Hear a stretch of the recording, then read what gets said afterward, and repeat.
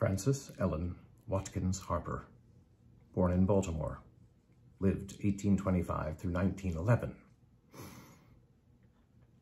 Writer, poet, considered the mother of African-American journalism, suffragette, abolitionist, assisting on the Underground Railway. Composer of this poem, which seems as relevant today as it did back then, and just as necessary. Shall we carry it with us as our song? So that maybe one day we don't have to sing songs like this. Until then, Songs for the People by Frances Ellen Watkins Harper. Let me make songs for the people, songs for the old and young, songs to stir like a battle cry wherever they are sung.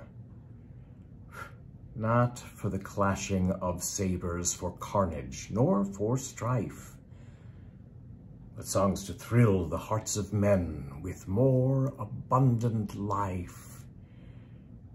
Let me make the songs for the weary amid life's fever and fret,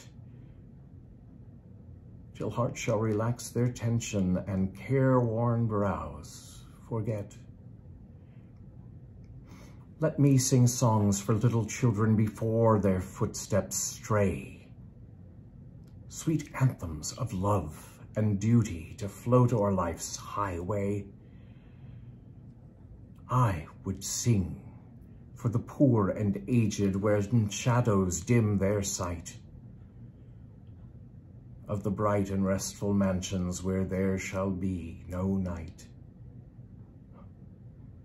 Our world, so worn and weary, needs music, pure and strong, to hush the jangle and discords of sorrow, pain, and wrong. Music to soothe all its sorrow, till war and crime shall cease, and the hearts of men grown tender girdle the world with peace.